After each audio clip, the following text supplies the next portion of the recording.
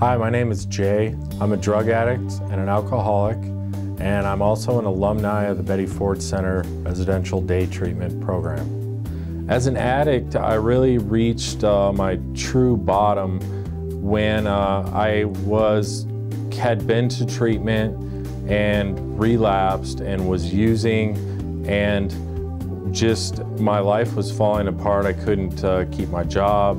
I was totally out of money.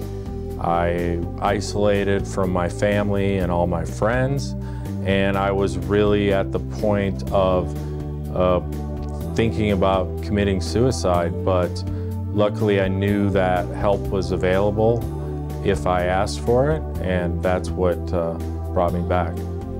The biggest impact of treatment for me was being isolated away from the ability to use and drink. It was important for me to kind of be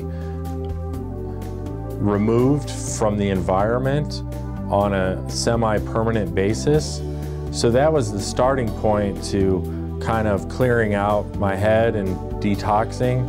Then uh, what really had the most impact on me was the fact that the staff and everyone I was in contact was with truly cared about me and the people I was in treatment with. Uh, their main concern and what I felt was that they only wanted me to be healthy and to be sober. Uh, and then the other thing was the authenticity of the relationships that I made with people that I was in treatment with. Uh, addicts and alcoholics can relate to each other on a level that no one else can, I don't, I don't believe.